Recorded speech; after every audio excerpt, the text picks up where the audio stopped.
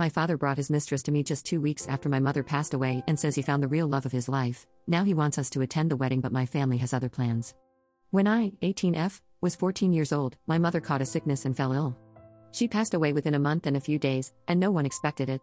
Not even my mother expected her health to deteriorate like this, she believed until the last day that she would recover. The person who took the most care of her in the hospital was my grandmother. My father did not pay her much attention at all, maybe because he didn't think it was that serious at the time, or maybe because of other reasons. Regardless, not even two weeks after my mother passed away, my father brought home and introduced to me his new girlfriend, a woman that he met at work. There has always been some doubt in my head that she has always been my father's mistress since before my mother passed away, but I don't know, I don't like her anyway. I was grieving, and I had to tolerate a complete stranger in my home. Now, my father has announced that he is planning to marry his girlfriend next week, and other family members, myself included, are furious. It is like he never cared about my mother at all. The date for the wedding is a day before my cousin's, 21F, birthday, and she was not going to let him do as he pleased. My cousin organized a trip to the beach, which will last a week. It was given to her by my aunt and uncle because she won a scholarship overseas at a college. My aunt and uncle won't go to the wedding, and some of my other cousins won't go to the wedding either, but they'll be going on the trip. My cousin arranged the trip entirely on purpose to ruin my father's wedding since my mother was her godmother. My father was mad at her, but my cousin told him that she's not going to cancel her trip for a second wedding. In her literal words by text, she said, I'm much more interested in seeing the grass grow than in your wedding. Today, my father found out that I will be going on the trip too, and he's totally mad at me. He even cried, telling me that everyone is punishing him for finding love.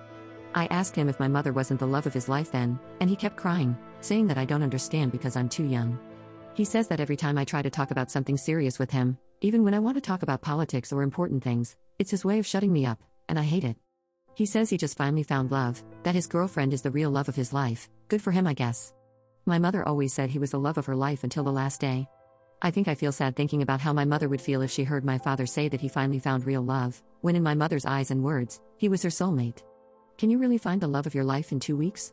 I understand that grief is different for everyone, but who grieves spending Christmas with their new girlfriend and not with their daughter who lost her mother?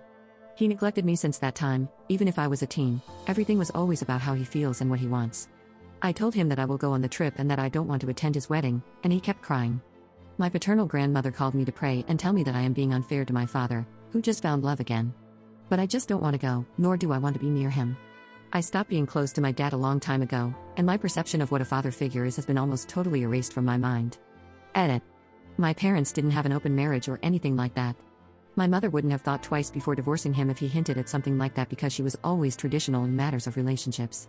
We were all shocked by the fact that my father introduced his girlfriend while we were all grieving, it's something no one understands to this day. Update 1. Thanks to the comments that day, I decided to talk to my father and ask him if he cheated on my mother. I got really anxious and just needed to know the truth because it was something that made me feel really nervous. After insisting and hearing him cry, he confessed to me that he had been talking and going to places with his friend for a while while my mother was still alive and even before she got sick. My mother didn't know that my father had that kind of relationship, and it was all behind her back. When my mother passed away, his girlfriend at that time, who was just a friend, approached him to comfort him. He didn't say exactly when, but I guess it obviously happened between those two weeks. I want to think it wasn't the day my mom passed away because it was unexpected, and we were all too busy. My father told me that it was the first time they had physical contact, but he always felt guilty about his friendship with that woman. I'm not very familiar with the subject, but I think it's what people call emotional cheating. I only know that he kept it a secret because he knew he was doing something bad. I asked him if he and my mother were having marital problems, and he said no, not at all. According to my father, his friendship with his girlfriend was something he planned to keep a secret forever when my mother was alive and healthy. My father told me that he thought he loved my mother until he kissed his girlfriend and decided that we only live once. That's why he took her home just two weeks later after my mom passed away and did everything he wanted with her. My father's logic was that his job gave him a week of mourning, so according to him, two weeks was enough mourning for me. I told him that while he fulfilled his fantasies, I was alone in our home, and he kept saying the same things like, You were almost 15 years old, you were already a woman, at your age I was already working, blah blah blah. I don't think I'll ever get to that level of maturity to understand his mind. I asked him if he thought about cutting off contact with his girlfriend if my mother found out, and he said something like, No, I wouldn't cut contact with her. It was just an innocent secret, and your mother never found out. I told him my mother would have cut off his manhood if she heard him say that, and he started crying again. But anyway, all of this doesn't change anything. The result is still the same a father who neglected his daughter. I said a lot of things to him. I've been going to the psychologist for years, so I know how to manage my feelings, but at that moment, I told him everything I've been keeping to myself, and he cried again. Isn't that weird, to cry when you're the one who screwed up? I only feel bad for my mother and myself. For now, I warned him that I am going to rent the house to make money and cut off contact with him when he leaves the house with his girlfriend. He didn't complain about that because at least he always agreed that the house is mine. I'm not going to leave him homeless or anything like that. I'm not going to his wedding. I'm not going to invite him to my wedding in the future. I don't care if my future kids don't have a grandparent or anything like that. I think years ago I lost both parents, but luckily, I have people who I can still call my family. I see myself as a person who had to mature quickly. My mother left me in charge of my father, but my father maybe decided to bury his paternal instinct next to my mother, or maybe he never had one. He was always a regular father, so I don't care if I don't see him again. I don't feel anything for my father's girlfriend, but I just don't like her because I would never date a man who neglected his daughter, and she's going to marry a man like that. Anyways, we never argued, and I don't hate her at all. I hope she's my father's final real, real love. There are people who commented saying that I was making my father look bad on purpose and that I was probably a brat who has bad behavior just because I'm a teen and motherless. I don't understand what kind of education those people had, but being a teenager doesn't mean that we let ourselves be carried away by our feelings. Sometimes a minor can speak much calmer and in control than an adult, and that doesn't mean that I want to portray myself as a saint. I really don't know where I went wrong for my father to prefer to forget that he has a daughter. I don't know what I could have done wrong.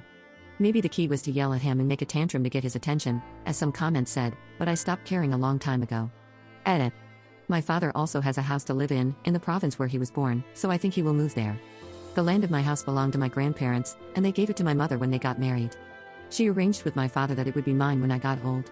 My mother didn't have a will or anything, the house is more of a gift from both of them. The house is not a mansion or anything like that, and I don't have the papers either, but my father says it's my house, and for now, that's enough. Renting houses is always the most effective thing in my country to have money, and my father agrees because he will go with his wife to other places.